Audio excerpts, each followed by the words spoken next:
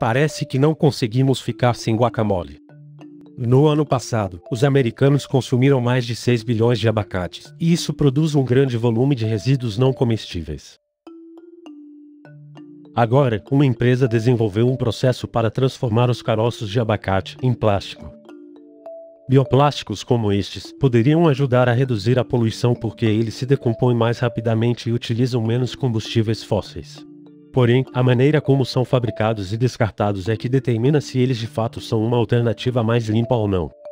Visitamos a biofase em Monterrey, no México, para ver como tudo isso funciona.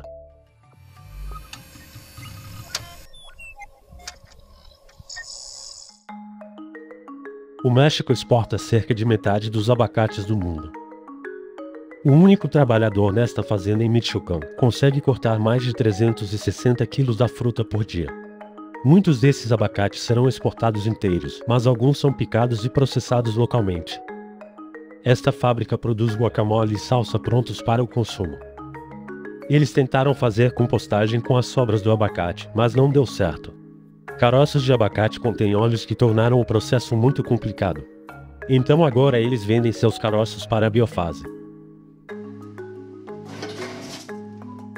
Os bioplásticos são o que chamamos de produtos que em sua maioria são feitos de substâncias biológicas ao invés de petróleo. O processo começa com os caroços de abacate que foram lavados na fábrica fornecedora. Nuestro siguiente paso es que la semilla del aguacate entra a nuestro proceso patentado mediante el que nosotros generamos el bioplástico con el que fabricamos todos nuestros productos. À medida em que o caroço passa pela máquina, ele se transforma em uma resina bioplástica que está pronta para suportar muito calor. O que sai da outra extremidade é uma folha maleável que pode ser moldada e cortada em diferentes formatos.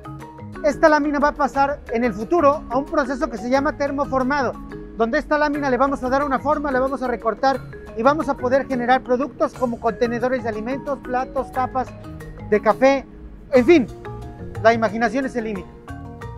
Estudos demonstraram que os bioplásticos são um avanço em relação aos plásticos tradicionais. São usados menos combustíveis fósseis em sua produção. Eles contêm menos produtos químicos tóxicos e se decompõem mais rapidamente. A tecnologia para fabricar estes produtos melhorou nos últimos anos e se tornou uma indústria de quase 20 bilhões de dólares. Este é quase o mesmo tamanho da promissora indústria de carne à base de plantas. A biofase faz parte desta tendência. A empresa surgiu oito anos atrás com uma única fábrica. Hoje, ela está em três localidades pelo México. No entanto, existem alguns problemas. Os bioplásticos exigem instalações industriais especiais para a compostagem adequada. Além disso, podem contaminar o fluxo regular de reciclagem. Também são mais caros que o plástico comum, que é feito de petróleo facilmente disponível. There are two reasons. Because first of all, crude oil is quite cheap um, right now, and, and secondly, the production capacity for bioplastics is much lower, while for fossil-based plastic it's much bigger. So they have an economy of scale in terms of production. A biofase produz cerca de 130 toneladas de bioplásticos por mês. Isso é equivalente aos resíduos plásticos convencionais produzidos por 13 mil americanos.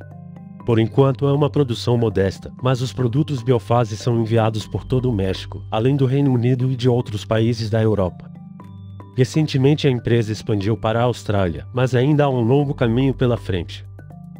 Bioplastics, I think, is probably a little bit less than 1% of the fossil-based plastics.